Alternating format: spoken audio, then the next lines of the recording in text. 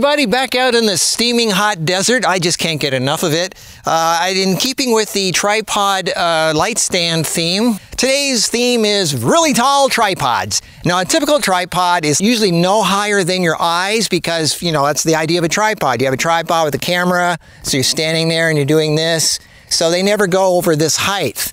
But these ones are higher, and you might say, well, what do I need really tall tripods for? Well, for example, we do cooking videos, and I want to have a camera really high up looking down at the food. And that's what I use this one for. This is an eight footer, and it works really well for that. And there's other times where you want a, a camera really high up, just staying up there a long time, not moving, very silent, so no, you can't use a drone. There's a lot of situations where you might need a really tall tripod, and that's what this video is about. Okay, and plus I like really cool things that are weird and I do videos about things that most people don't. So anyway, I'm gonna go through three tripods. That's an eight footer, that's a 10 footer, and that's a 12 footer. That one I did a video on already. You can see it right here, but I'll touch on that again because we're gonna use it for something after I'm done explaining these things. So let's just go through the uh, the prices, real. I'm just gonna go through prices real quick. This is an eight footer. This is by E-Image. It's a studio tripod with a GH03 fluid head, 10.6 pounds, costs $290, which is really cheap. Actually, a lot of the really, really tall tripods that you get, they're in the thousands.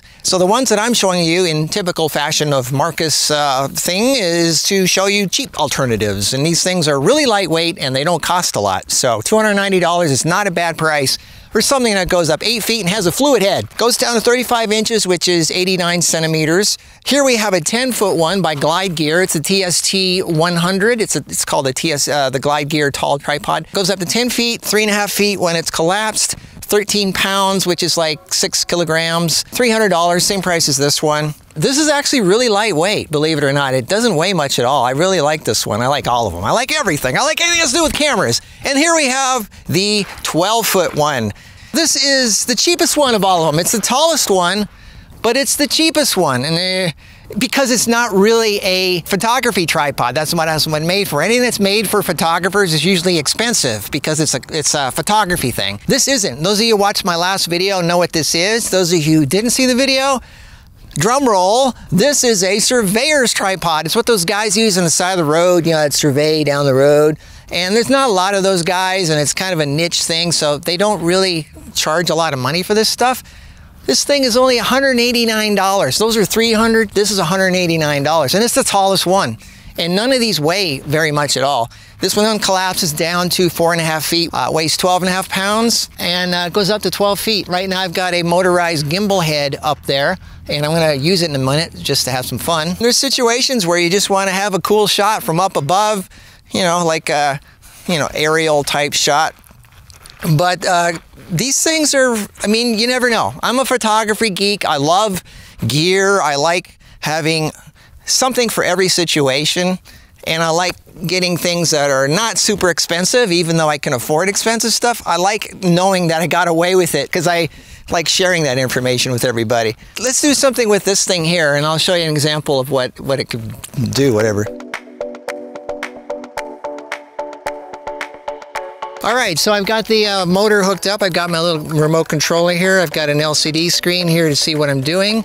And I'm gonna have her walking, just walking around. We're gonna have a shot of her from above. Just, just, just so we have a shot of her from above and whatever. Okay, I'm using a little motorcycle battery for the power. Another little Markus MacGyverism.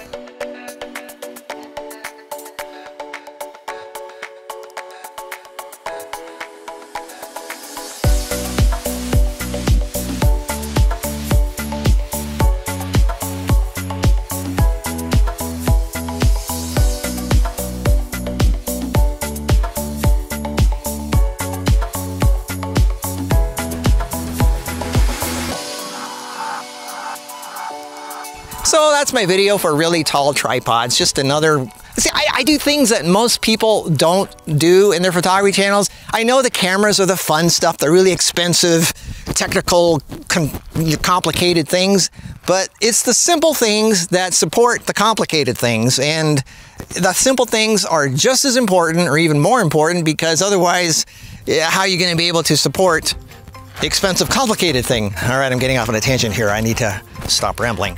Anyway, so uh, that's it. I hope you like my channel. Uh, stay tuned. I'm looking for excuses to come out into nature and do cool things and share my love of photography with you guys. Subscribe, tell your friends, whatever. Okay. See you in the next video. Bye.